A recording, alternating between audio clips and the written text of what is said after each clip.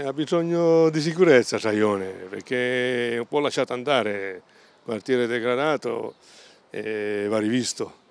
Quindi portare più negozi potrebbe servire o no? Mm, Sì, anche più sicurezza, e più negozi e, e più lavoro ai giovani anche, dando opportunità eh, di aprire i negozi. No, i negozi ce ne sono tanti. Rivitalizzare mh, più che altro rendere un po' più sicure alcune, alcune parti, insomma rivitalizzare in questo senso, nel senso che ma, mh, aumentando la sicurezza, eh, come dire, poi ri- ri- ri- riprodurre più movimento, più, più circolazione, più attività.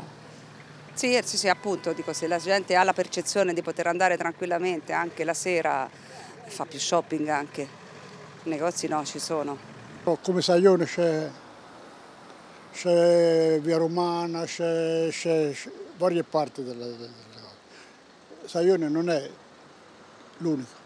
e sarebbe più opportuno, forse ancora più che rivitalizzarlo con i negozi, che ci fosse un pochino più di sicurezza. Siamo stufi veramente, non ce la facciamo più nessuno.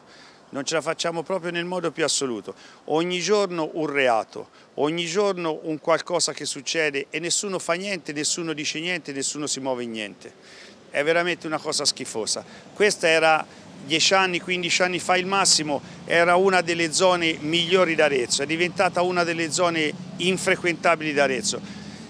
Eh, colgo l'occasione per dire ai nostri politici, qualche volta la sera, ma non la sera a mezzanotte, alle 10, le 9 e mezzo, alle 10, fate qualche giro qui in- Saione e in queste zone qua e, vedete, e vedrete il degrado e la delinquenza che c'è. E non chiudete soltanto gli occhi e, e prometteteci soltanto quando c'è le elezioni, fate qualcosa, fate qualcosa perché ne abbiamo bisogno e siamo tutti stufi. Grazie.